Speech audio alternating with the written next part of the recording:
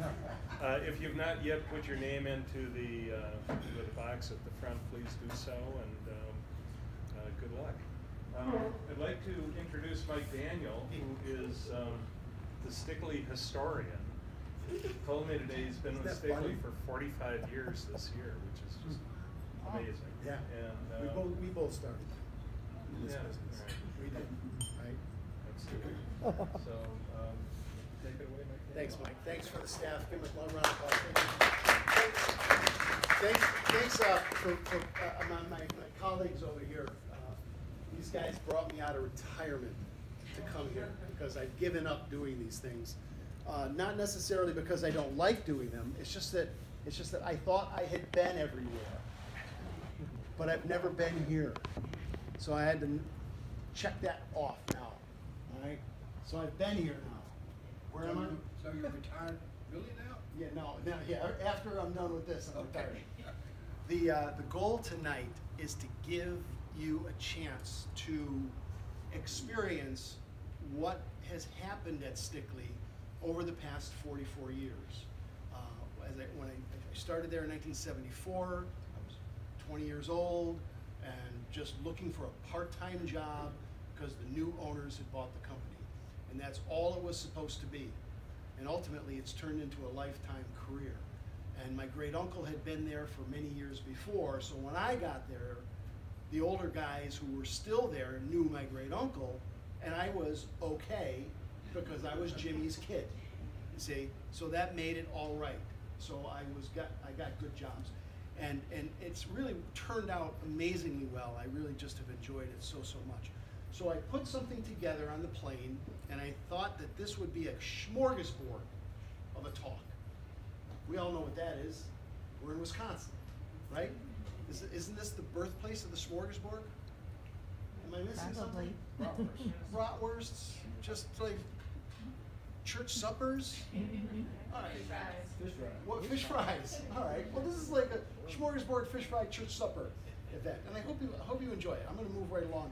The, the man who uh, who uh, saved the company is Alfred Audi, who is passed on now and is a member of the, of the Furniture Makers Hall of Fame, along with his wife Aminy and president of our company, their son uh, uh, um, Edward Audi, uh, who was a little uh, five-year-old twerp who would run around and get our soda bottles after we drank our soda bottles, and he would get the deposit for them.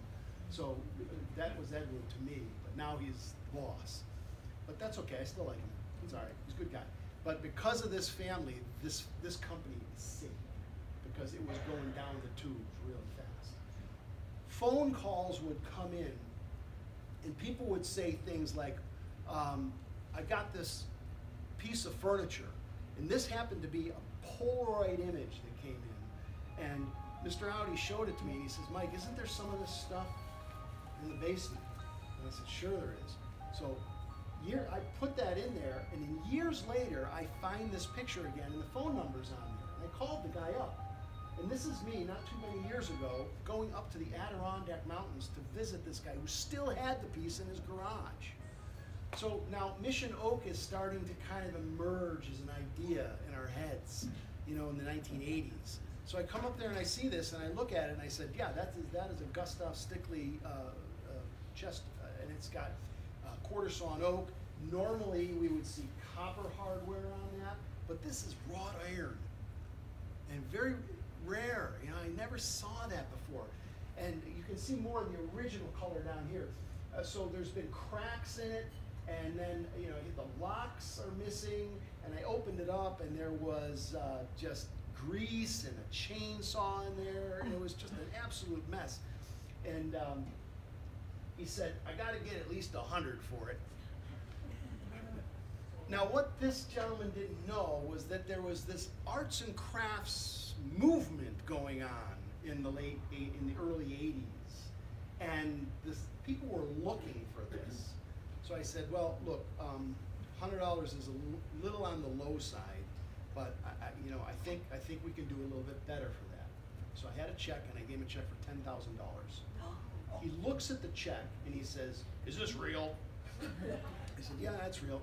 And so he goes back into the house, and this is a cabin up in the Adirondack Mountains. And he's he's in there for a while, and, and my, the guy that I was up there with were we're cleaning it out, we're gonna bring it in a truck, put it in there, and we're worried now, because now two big pickup trucks pull in, and it's the kids. And I said, that's it, it's all over. I mean, the kids, they're, they're thinking we're stealing this, we gave ten thousand dollars, was a great price for the one in this condition. It's horrible condition. So, uh, they were in the house for a long time, they came out, and I said, look, deal's over, guys, I, I just wrote a check for ten thousand, I don't have another check to give you, we, we're, we're, we're, we're not gonna negotiate here. They said, no, we're just waiting, we're just trying to figure out who dad gave the other one to. The one that was in the house. Well, we don't know exactly where that turned up, but we know where this one went. I took this back to my shop, restored it, refinished it. No, I didn't refinish it. But I remediated the finish, uh, and it sits in our museum now. And this is a piece that was then brought to the Dallas Museum for the Stickley Revisited show, which was a major exhibit that happened a a few years ago. So there it is. Interestingly, the wood is chestnut. And we don't make furniture out of chestnut anymore. Tough to find that stuff. But there's the chestnut wood that Mr. Stickley used in the earliest days. So this is probably one of the very earliest pieces of arts and crafts uh, furniture to have ever been found by Gustav Stickley. So I bring that up to remind us that the furniture that Mr. Stickley made was dramatically different than what was popular just a few years previous. This is what most people wanted in 1900. This in, in the 1880s and the 18, 1870s. This this was the, what everybody wanted. Soon after, though, Gustav Stickley brings up something that's totally different, totally unique, and you know you really had people who were just born and raised in this going to buy this, and so you know they're realizing, wow, this is just amazing stuff, and we just keep going back and forth. I only have two more two slides. This is it. Here, I, I'm going to share letters with you. Here's the letters. I was watching a program talking about Stickley. I recognized the style. I quickly ran to the desk that my sister and I did homework on that belonged to my great grandparents. Sure enough, there in the bottom of the drawer is a label, and I pulled out the drawer and I saw written on the back my sister's name uh, and a boy she fell in love with was scribbled in marker. And there's the Stickley mark right in there. She says, I'm researching Stickley, purchased two more pieces. I was thrilled to learn that the Stickley brothers were born in Osceola, Wisconsin, where my great grandparents grew up, and, it, and wonder if they were friends of my family. I like to imagine that they were. So see, there's a heritage in Wisconsin with, with them. So they, they, they, they grew up in, in Osceola, Wisconsin, but they made the five brothers down here at the bottom. Uh, they started a company in Binghamton, New York. That's to the southern tier of New York State, where it's flat to Pennsylvania. And uh, that was the big area where there was a lot of leather tanning going on there, and uh, a lot of lumber was being cut for that. So the Stickley brothers worked together, and then there were four distinct Stickley furniture companies that emerged from their family. And this is where it gets confusing, because you had Gustav and Leopold working together for a short period of time, but then Leopold left his brother and started a new company in Fayetteville, New York, which is just about 10 miles to the east of Eastwood, New York. And then uh, John George was working with his brother Albert in Grand Rapids as Stickley brothers, but there was only two brothers. And then there was only one brother when John George went to work with Leopold, which meant Leopold and John George, L. & J.G. Stickley. And then you had Charles Stickley, who stayed with his cousin Schuyler Brandt in Binghamton, New York. And that's the confusion. Which brother worked where? This is where a lot of miscommunication comes up when somebody says, I have a Stickley piece. And we have to say, which one? What do you mean, which one? And then you have to give them the lecture because otherwise the chart starts looking something like this and it just gets absolutely crazy. So uh, this is why there's so much interest in all these guys. Now there's a great shot of the factory that we had, we still have, it's part of our museum now, um, where the guys are working, making the arts and crafts furniture. Very dramatic stuff. Look what House Beautiful said in 1902. This new style of ready-made furniture. Very comfortable to sit on, its joints neither come unglued or creak when a stout yokel sits upon it. So there you go, worked out. Pop, there he is. He's got his spittoon there, he's got a cigar, he's sitting down. This, this is, this is what Pop wants to sit down, and he doesn't want that Victorian chair. He's ready. He- This is a modern man here. You know, this is not his grand his granddad's furniture. He wanted his own stuff. And and this is this is what happens. Look, scanning through an antiques collectible magazine at a local bookstore, I saw it. Uncle Fred's chair. The article identified it as a Stickley, but for me, that picture brought back a flood of memories. As a child, I played with Uncle Fred's poker chips at the foot of the chair. Who played with the poker chips? Come on, there's gotta be. You played with the poker chips, right? Everybody did that. Mm-hmm. I snuggled against the scratchy wool vest. We read the comics together. Chair went to a new owner in an estate sale. Now, as an adult, I would love to uh, uh, curl up in the arms of that special chair and relive the warmth of those memories. And are you looking at the name of the furniture company that's up here? Porter Furniture. You see, we were just talking about your family and, and they received. And did you notice that they are also undertakers and embalmers? you, you know, you know the you know the furniture store to consumers emerged from undertakers uh, and uh, casket makers. Did you know that? Because the, the, ca- the guy who could make the casket had the planers and he had the machinery to be able to make a tabletop and all the other parts that go into a casket. So casket makers were also the people that you went to to make your furniture. Or if you had a child and needed a cradle, you got it from the undertaker. Jacobus, Pennsylvania, there was still one up until two years ago. There's actually a big auction going on this week. The Jacobus Furniture and Under Undertakers. The building is still there.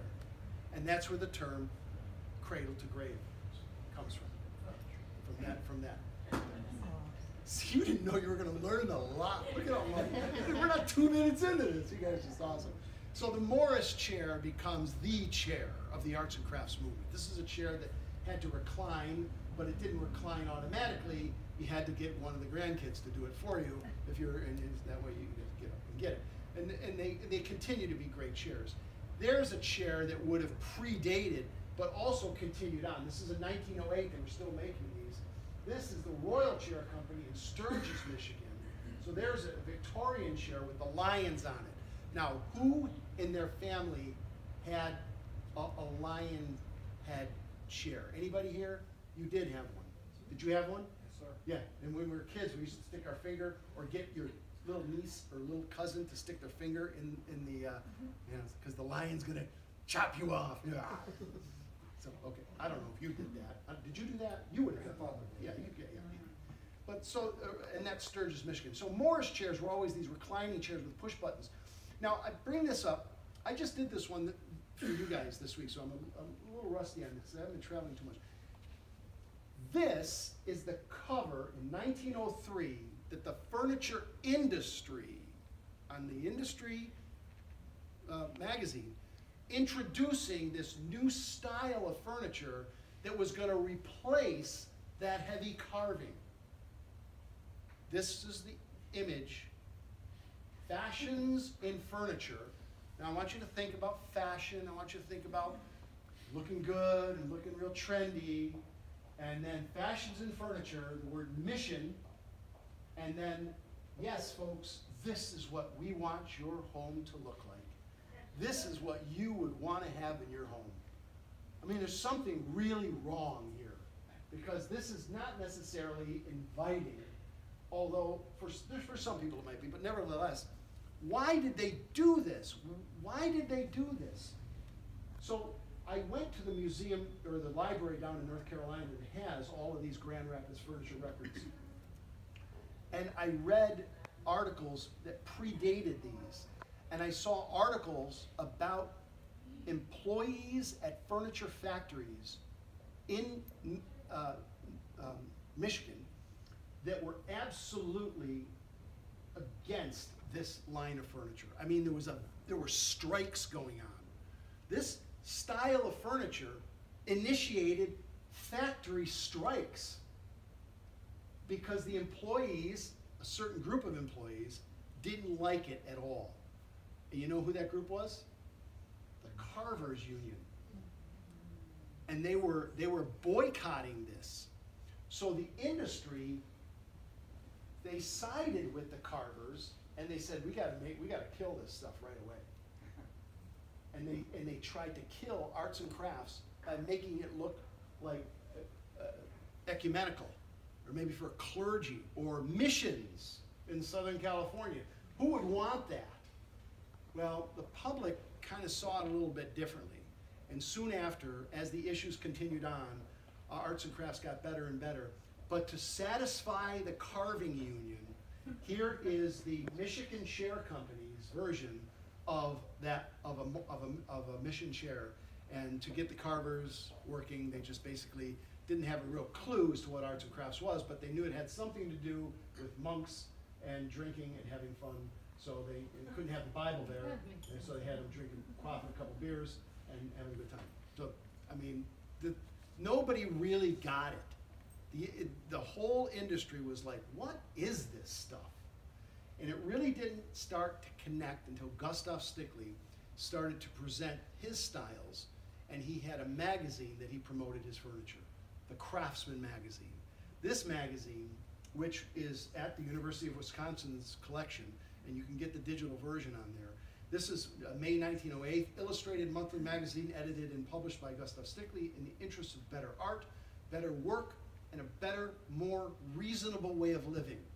If you ever wanted to define the arts and crafts movement, which was not only furniture, it was textiles, it was pottery, it was art, it was homes, that's it.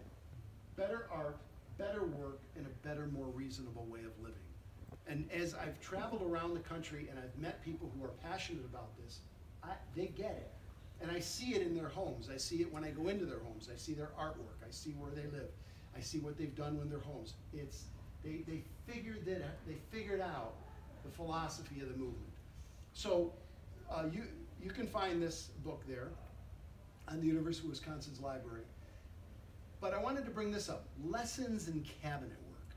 Now, what Gustav Stickley is attempting to do is to educate the customer on his definition of quality, because it, how do how do we define quality furniture? Well, Gustav Stickley said it, you have to look at its construction. How is it joined together? Is it put together in a way that's not going to fall apart? So that what that meant is mechanical construction, not just glue joints, just mortise and tenons, pinned dowel joints. So you actually have a wooden pin being driven right through the mortise. You have pins running through these mortises. Quadrilinear posts were developed by Leopold Stickley. That's four pieces, individual pieces of quarter sawn oak glued around a central core. Now I'd have to get into a study of wood grains to show you that when you look at a square of a solid square of oak, you're going to get two sides that are flat sawn and two sides that are quarter sawn. So that didn't really look that good. So using the uh, method here with this quadrilinear post gave you the quarter sawn oak on all four sides. So that became a feature of Leopold Stickley. So it was construction at the, at, at, the foundation, but you had to think about design too. And some other people had some other ideas about design. This man, Harvey Ellis. Ellis is working now for Gustav Stickley. He understands the simplicity. He understands construction, but he also felt that some of the arts and crafts pieces that Stickley was making in the early stages just seemed a little too heavy, too massive, kind of like rooted to the ground. But what does Ellis do? He, he doesn't do the through mortise and tenons with the pin dowel joints. What he does, well, he does the pin dowel joints, but he doesn't do the key tenons or anything like that. But look what he does. This, this is Ellis. This is George Wilkinson, who's working for Gustav Stickley. This is a really great example of early Gustav Stickley. It looks like a rectangular brick. It is rooted to the ground. It's got massive drawer fronts, heavy uh, hand-hammered copper hardware, nice broad frame around the central field, and a nice uh, uh, uh, a cabinet bank here. Beautiful. It is gorgeous arts and crafts, very well done, early Gustav Stickley. Harvey Ellis comes along. He interprets this type of desk as this piece. And look at the difference between those objects. Starting at the bottom, look at the arch. What's it doing? It's raising the piece up. It's almost like it's weightless. It's lifting it, you see? And then that open space there at the bottom is giving an opportunity for maybe a basket or some such uh, decorative arts. Oh, Middleton, it's not McQueen. I- Mequon. Mequon? Do you know Mequon? How do you know Mequon? Do you live there? No, but Oh, okay. It's a famous town? it's nearby. Okay. Oh, good. All right, well, I don't know, it must, it must, when I was looking at the map, I must have remembered it. But this is Middleton. And the cool part about this development is every home is an arts and crafts mm-hmm. home, but they're all different. Ev- every home is different, which is kind of neat. So I, I love that. So when I went up and visited that, I saw that, and it was great to go see what people had done. So there's a lot of different books on this, David's book, Alex Vertikoff's book, and Ray's book. And Ray and I used to uh, drive around White Plains, New York, and we would drive around pointing at houses. Oh, there's one, there's one, there's one. And there was one house, we stopped and we saw a lighting fixture, a lantern up in the, in the uh, porch. And we must have stayed there for too long, pointing at this thing and looking at it, because the police pulled up behind us. And the guy comes out of the door and he comes over to the police. These guys have been here for like fifteen minutes pointing at my house.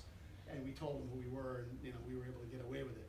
He ended up selling that, he had no idea what it was. No idea, ten thousand dollars, boom, happy to sell it. You know, that's, that, that was happening in the, in the late seventies and the early eighties. Now, you know uh, that there is an official car of the arts and crafts movement today. Do you know that? No? Well, there is. I see it everywhere. I don't care whether I'm in Wisconsin, or if I'm in the South, or I'm in California. When I see arts and crafts homes, I see vintage Volvos.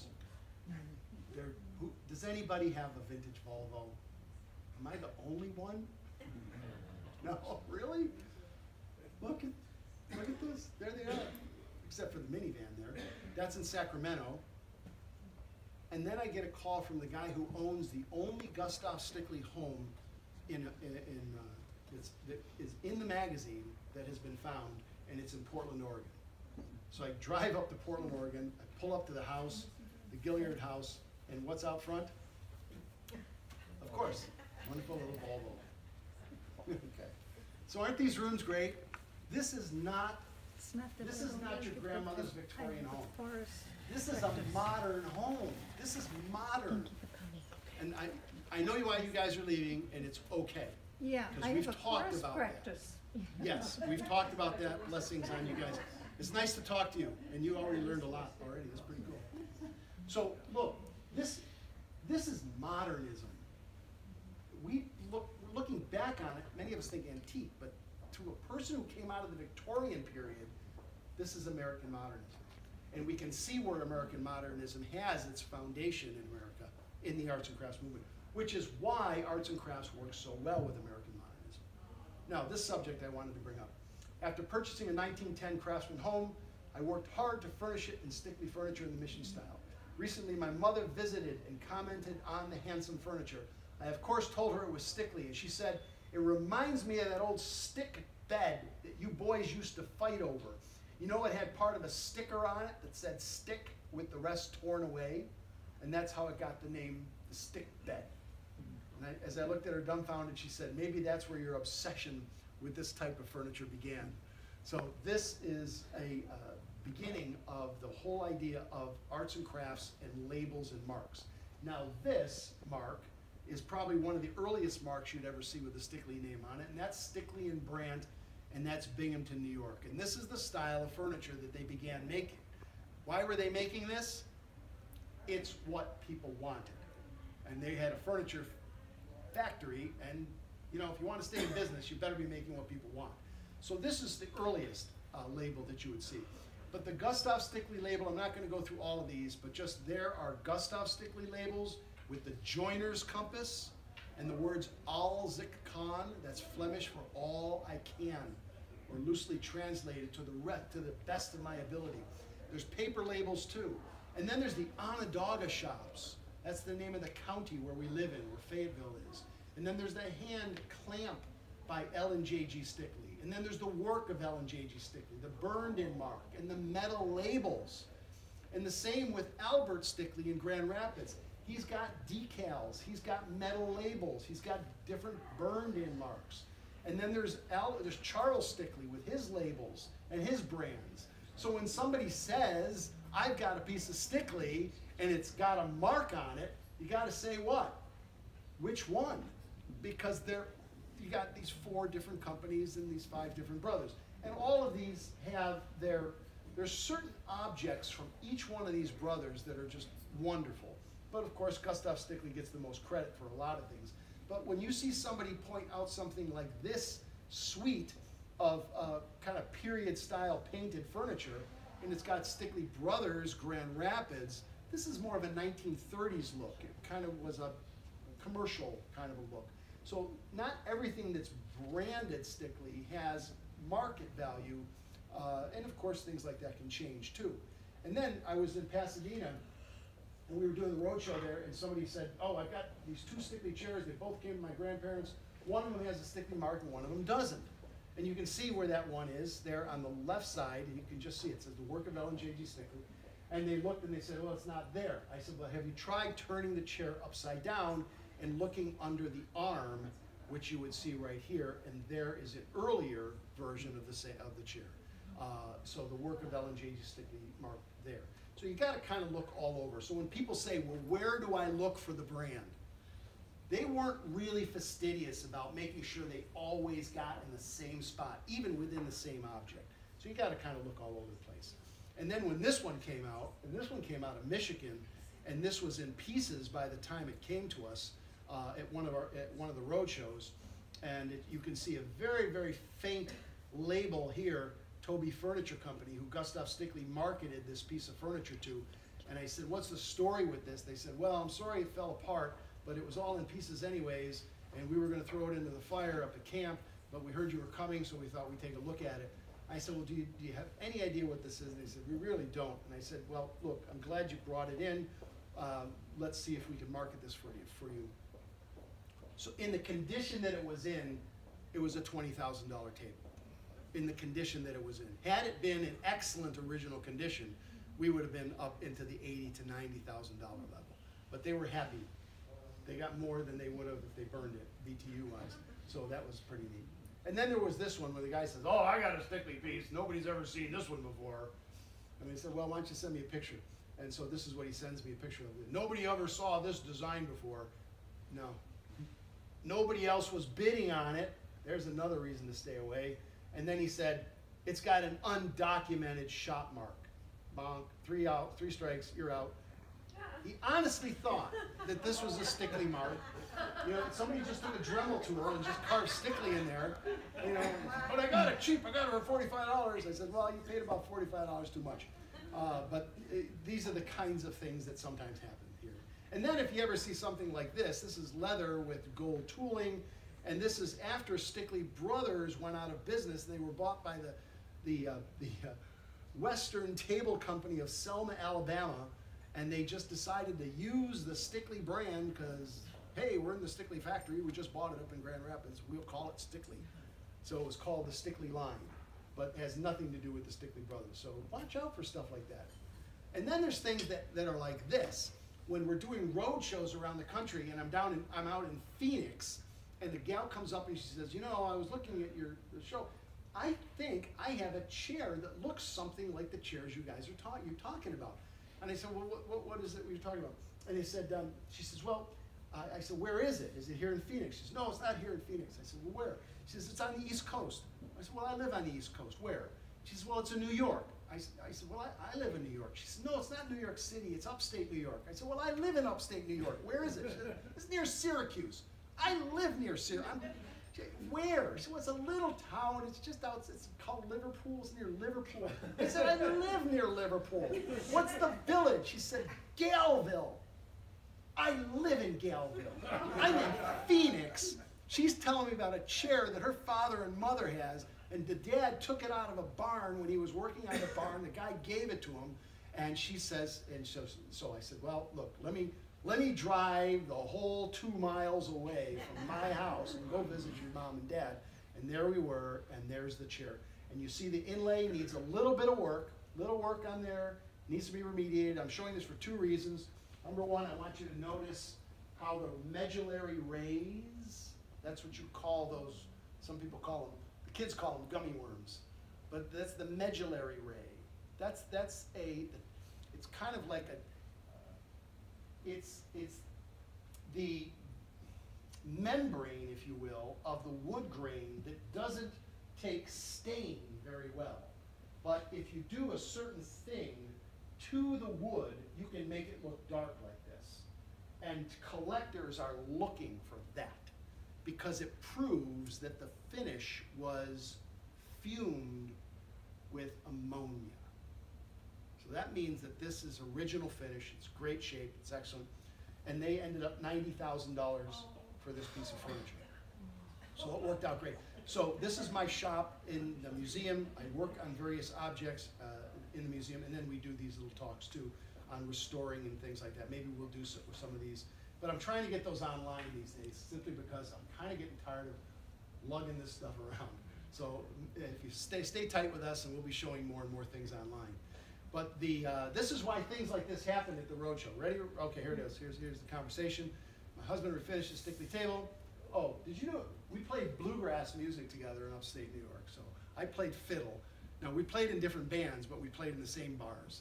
But this is when we were all in school, Mohawk Valley Community College in Morrisville. Okay, here's the, there you go. Husband finished the table, and the appraiser says, oh, too bad, haha, too bad. And then he's all ticked off, because what did he do? He removed the original finish, and that's, he removed the effect of the fuming. See, but he made it look like, like the Klieg, look at the Klieg lights on there, it's shining, boy, that's great, so. So, uh, th- so that's why original finish is so important. And now I wanna show you something really interesting too.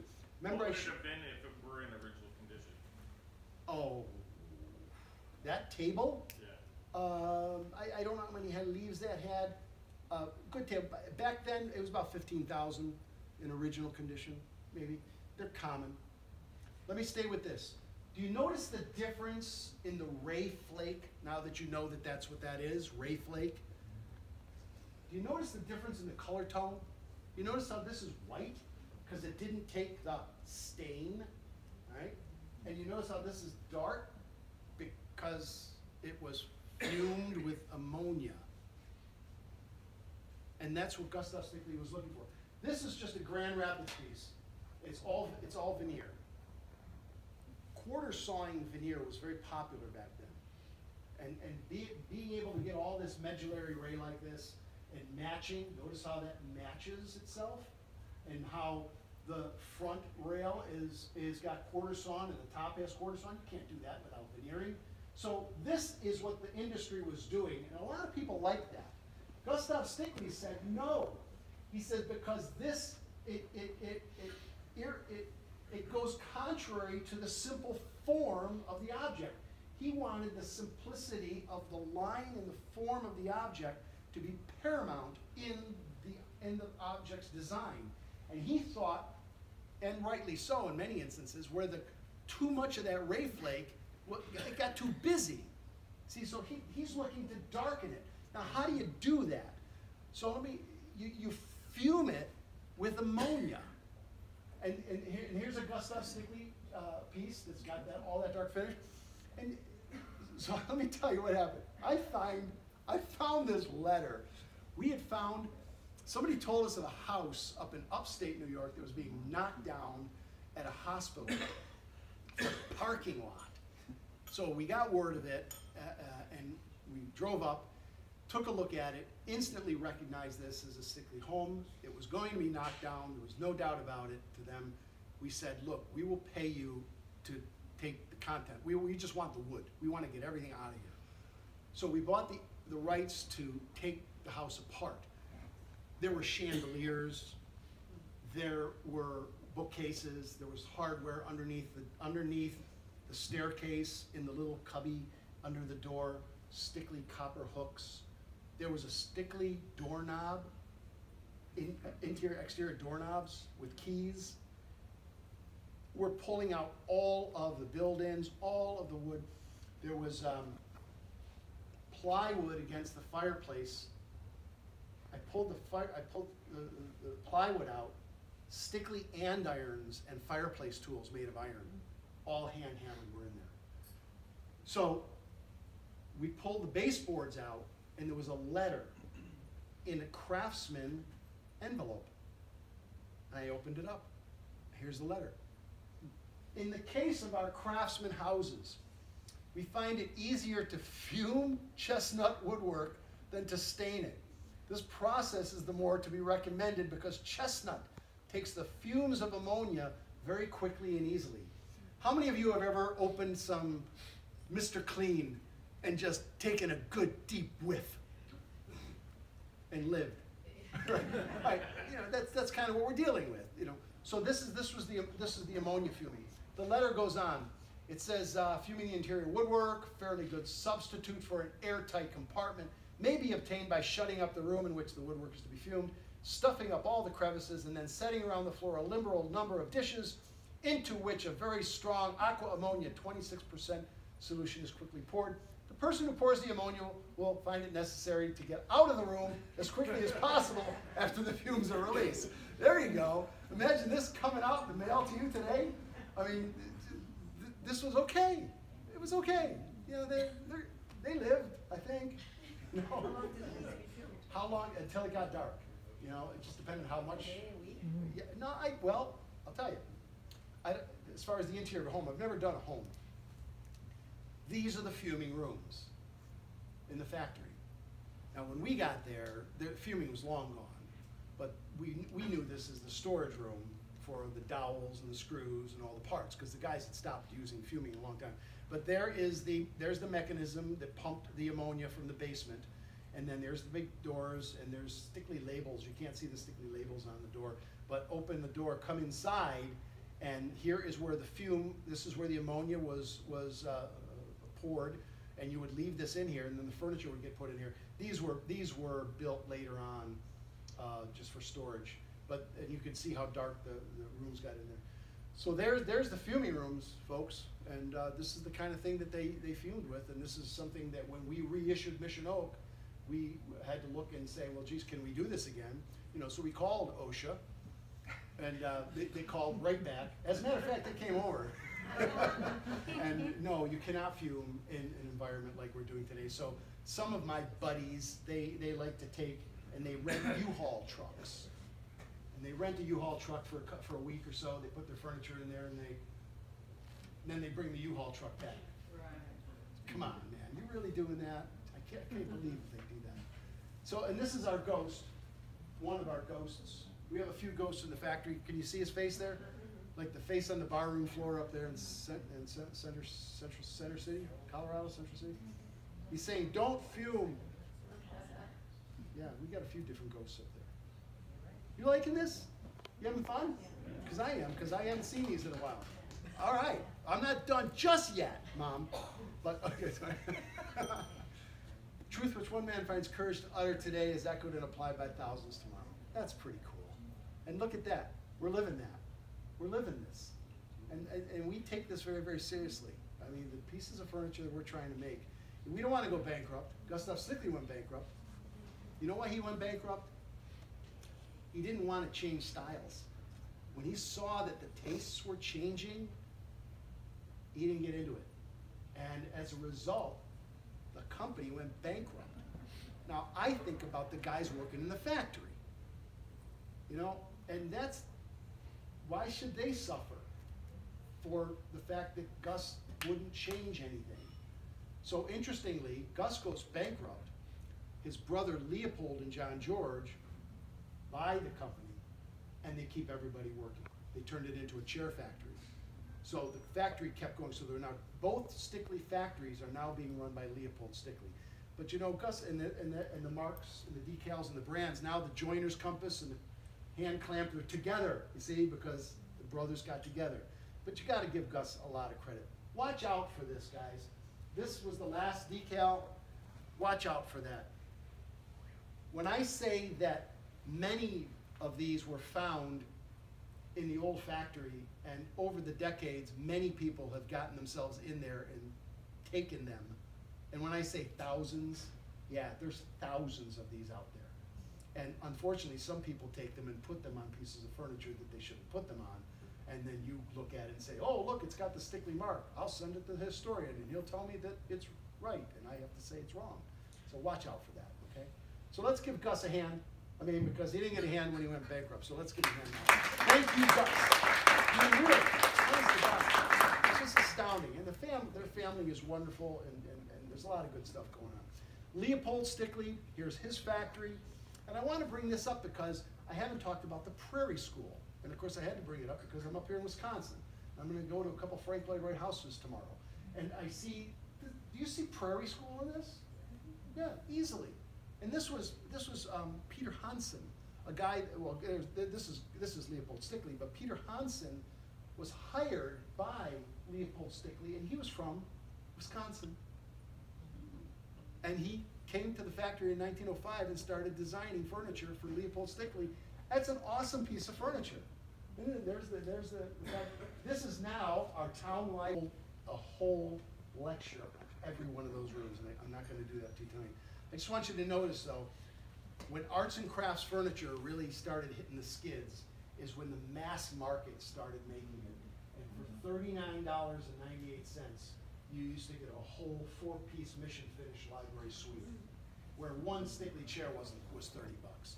So the low end of the market could make things that looked like Stickley, but make it out of red oak and not quarter sawn oak or not white oak.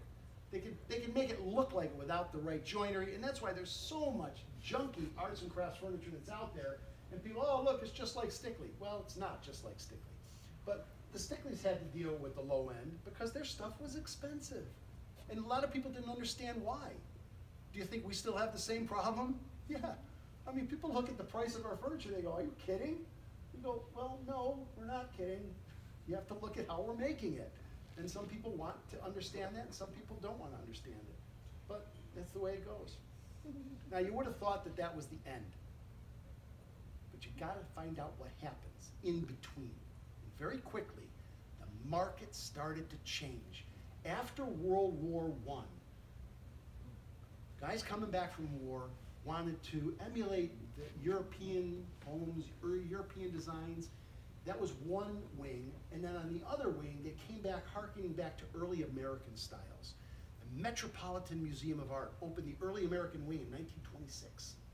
Tens of thousands of people went to the Met, and they went to see this new uh, display of colonial American furniture.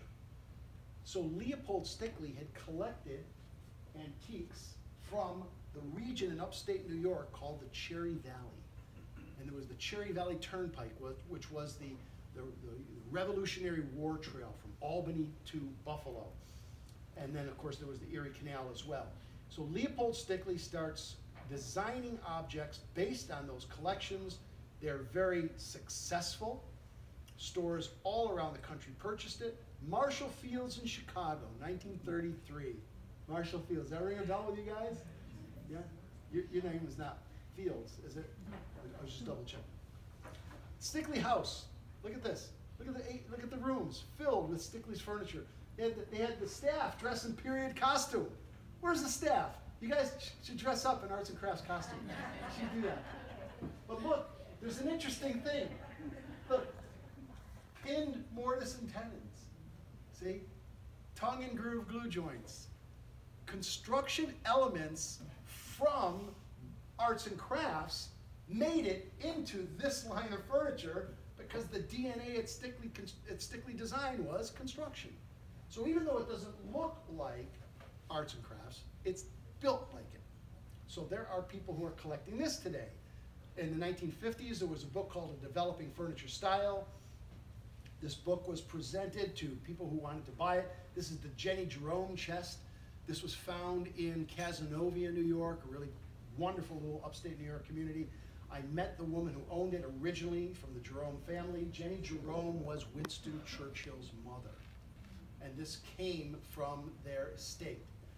And so Mr. Stickley is presenting these objects as, as reissues of American antiquities with stories. And he talked about the stories, and then he talked about construction. See, the construction story is woven into the Stickley product. And you may not necessarily see it each time, every time, all the time, because we, we do a really, a lot of good blind mortise and tenon sometimes, and side-on drawer guides. But as a result of Mr. Stickley's uh, uh, work, and here he is, he's getting an award, Leopold Stickley, revered Dean of Cabinet Makers, and this is in 1955, uh, whose art and craftsmanship have contributed mightily to American home life. Here he is, right here. Okay. Oh, well, you got a picture? Okay. Uh, and unfortunately, he died the year after, and this is the factory just shortly after that. And uh, this is part of our museum. My workshop is right on the other side that way. And the construction features and Mrs. Stickley standing here at the factory. So when, and then what happened was, Mr. Stickley here passes away, and Alfred Audi's father, who is standing right here, he is not, he was Leopold's closest friend and associate. He had his furniture store in New York City, which is why the Audis own the company now. Now there's Leopold Stickley, the last surviving brother. Sitting right next to him at the birthday party is Alfred, is E.J. Audi.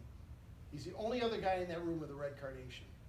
And sitting right across the table is an 18-year-old Alfred Audi, who was a university student up in upstate New York, who came to the party, and he's sitting right across the table from his dad. So there's the current owner of the Stickley Furniture Company right there. there there's no, there was no other family members. If Mrs. Stickley had passed away and the company had gone to some conglomerate or some industry, you would never have what we have today. Alfred listened to his father give the speech that day. We have a copy of the speech. It's amazing. It's absolutely amazing.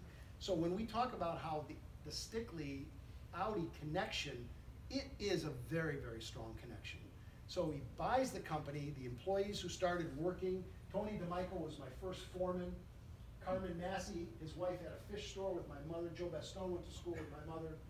I mean, there's Mr. Audi, Steve Semino, Leo Modell. These guys were the ones who kept the company going when Mr. Audi bought it and they decided to stay. So what happened was, all those guys have passed away. We were the first, there's the first five guys, we're all still there. I mean, we're all still working at the factory. We all have unique jobs with the company, and this is a picture taken uh, a week before Mr. Audi passed away, uh, and we, we miss him tremendously. But a legacy deserve, his legacy deserves that round of applause. Telling you. Um, mean, little pieces of American history going on here. It's, it's just astounding. Did they buy a vibrant, healthy furniture factory? Nope. Dilapidated building, older employees ready to retire. He wants to revive it. First thing he does, he has to hire young people. He hired a bunch of us local guys. We started making furniture. Were we making mission furniture? No. We were making the colonial furniture, the cherry colonial. Because when Mr. Audi opened up the office and looked at the orders, they were all for Windsor chairs and trestle tables. I mean, so you're to build that. So we had the drawings, we had the old machinery, tongue and groove glue joint machine from the 1920s. We still had that machine. So we tongue and groove every board. We still tongue and groove every board. We still have this machine. So when I talk about construction, I'm telling you, there was a passion with the Audi family originally to make sure that if anybody compared old and new Stickley in the cherry, in the colonial line, they wanted to make sure that people knew that he didn't change anything. Well, obviously, we didn't change anything, and people started buying our furniture. We bought our, our truck, and this, we got this good deal on this truck, I think $50 from a guy named Isidore Rapsadi, who owned the onion farm in Canastota, New York. And uh, the reason we got it so cheap was because it smelled like onions, and we, we had a hard time delivering furniture without that smell, because we would go in and people would say, what's that smell? And I'd say, it's the finish. And it was our early fuming. And you see with the, with the fire up there in the 1960s, there's, there's our great factory right there. And, and I, I gotta talk to you about this. This cherry colonial furniture, it's going to be an American collectible. It's, it's, it's going to happen. And I see this kind of stuff on eBay, but the way people describe it is just bizarre to me. But I shouldn't be surprised. How do people describe quality furniture? Very solid, I like that. Extremely heavy, incredibly heavy, and great weight. It's like we should be making lead drawer bottoms or something. No, it's heavy, it's heavy. And you hear people say that. It's gotta be good, it's heavy. That's not the way you judge fine quality. You judge it through construction and design. Mr. Audi hired Bill DeBlay, fantastic designer, to make this beautiful furniture in 18th century design in the, in the, in the early in the early 80s. The reason we were designing like this was because people were watching Dallas and Dynasty on TV. And this is what they wanted. And Bill was the designer for Colonial Williamsburg years ago. Kittinger Furniture Company. He comes to work for us.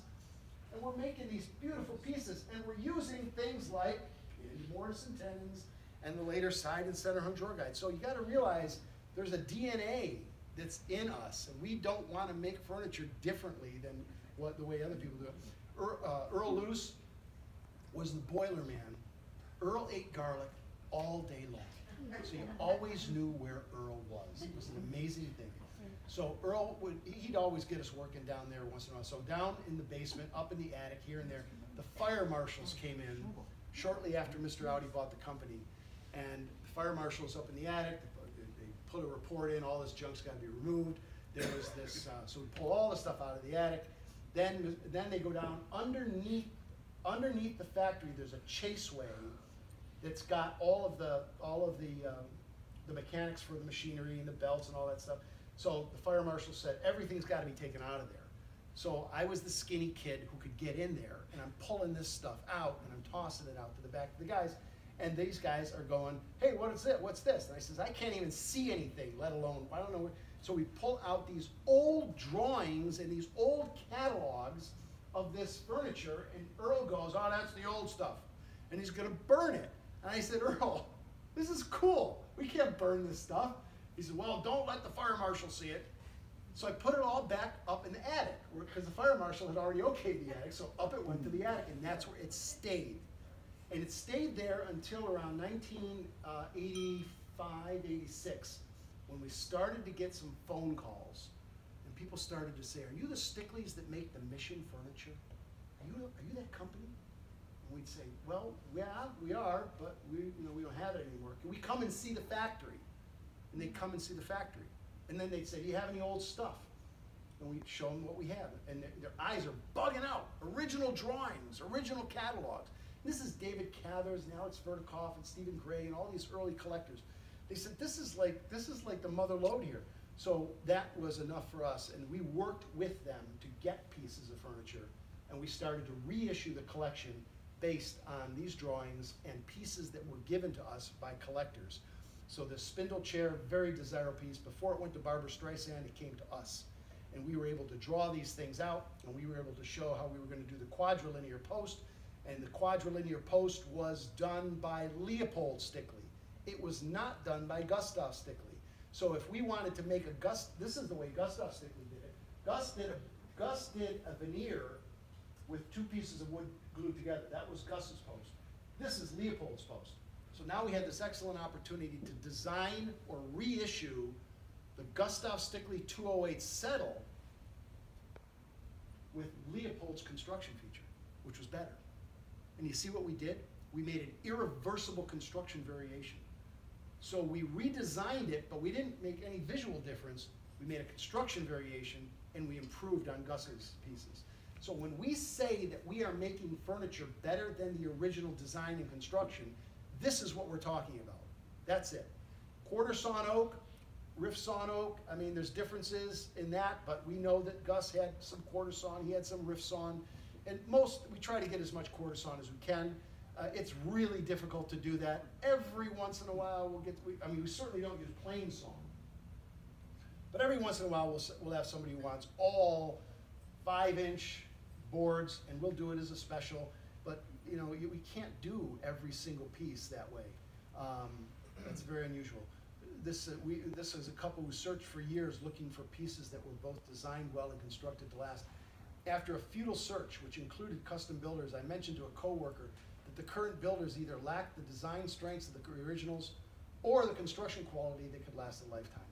And now that four- forty-five pieces and they're, and they're still buying furniture. So we're grateful. And when I tell people we're making it better, just look at the originals. That's an original Gustav Stickley drawer. It's got a center guide that's screwed into place. It's got a plywood drawer bottom, necessarily plywood. I wouldn't want to have to use solid there because too much movement could happen. But take a look at what's happened to the drawer. It's scraping on the cross rail because it's that's where its support is. Well, when we reissued it, we did it with the later Cherry Valley construction, side hung drawer guides.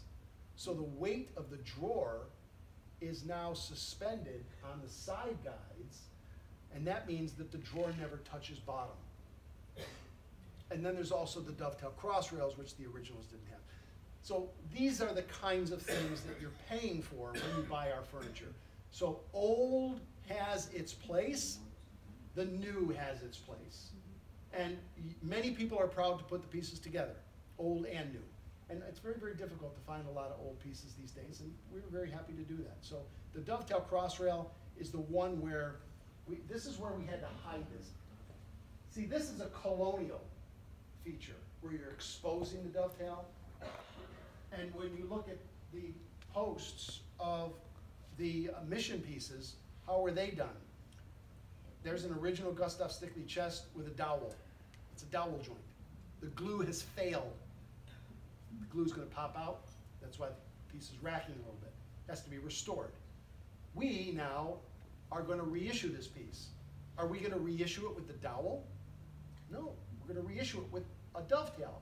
But how do you put a dovetail here when you have the post that is offsetting the rail?